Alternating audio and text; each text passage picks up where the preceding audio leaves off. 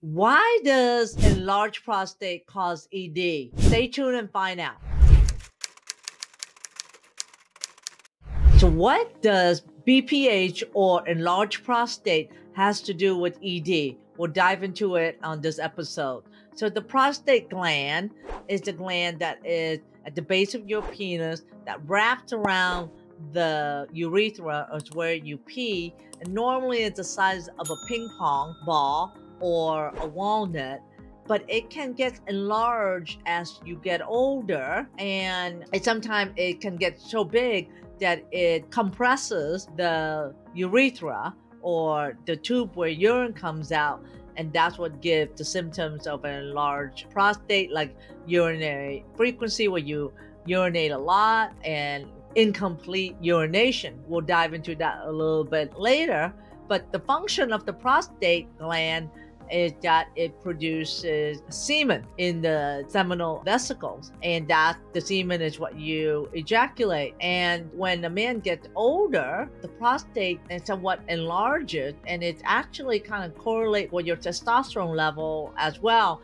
Is recommended men over 50 get their PSA check as well as their prostate check annually. Now, how do you know if you have an enlarged prostate? It's when you need to urinate frequently, like almost every hour, every two hours, and you urinate a lot at night, like three to four times, it's disrupting your sleep. And when you do urinate, you start and you stop and your urine stream is not as strong as it was when you were in your 20s.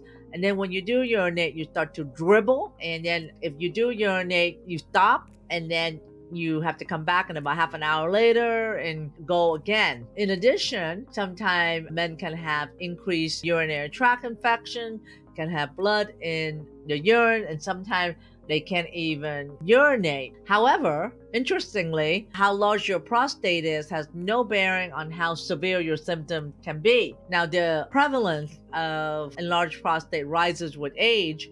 According to a study that was done in the 90s, it shows that 24% of men between the age of 40 to 49 has BPH and 36% of men aged from 60 to 69. I want to kind of talk briefly on what are the contributing factors that cause an enlarged prostate. And we know that we see that more as men get older. We also notice that as men get older that the testosterone level drop as well.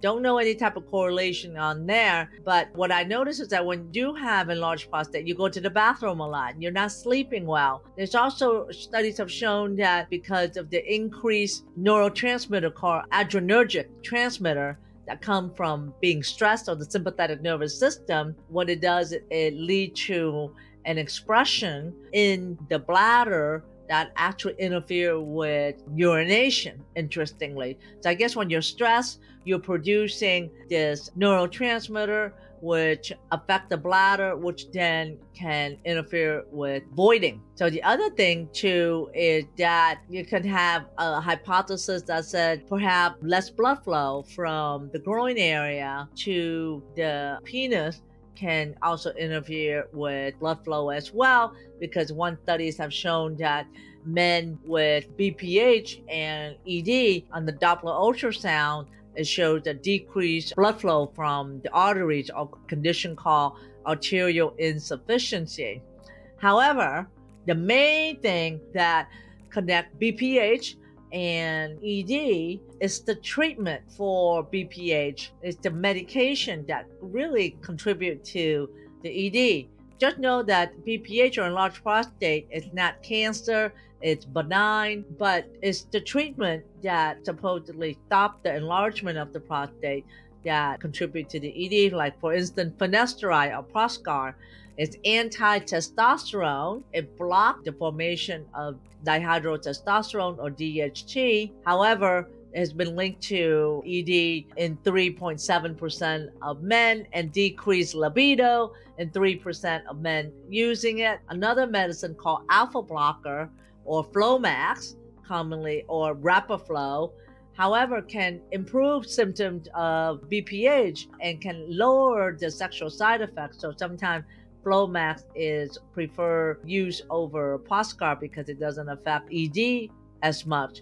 And of course, when you have enlarged prostate that is symptomatic, that you can't sleep or very weak urine, there's a procedure called transurethral resection of the prostate or sometimes TURP, and that is really making the prostate smaller, but in a small percentage, we don't know how much, can also contribute to ED as well. In summary, it's not the BPH directly affected, it could be indirectly causing more stress. It could be obstructing your urine flow. But the biggest factor is mainly the medication that you take for BPH that contribute to symptoms of ED. I hope you liked this episode. I would appreciate it if you subscribe, comment, and like and share this with someone you think may benefit from this information.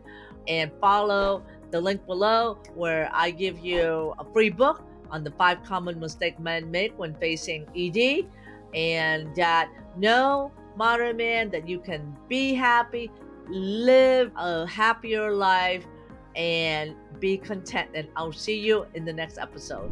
Are you struggling and frustrated in finding a solution for ED? Well, I have just the thing for you. It's called the Modern Man Club, led by yours truly, Dr. Anne. Together, we're redefining male sexuality and embracing a holistic approach to overcoming ED without medication or surgery. I will provide a protective environment for a community and proven strategy to overcoming ED. It is a safe place, expert coaching by me and my team.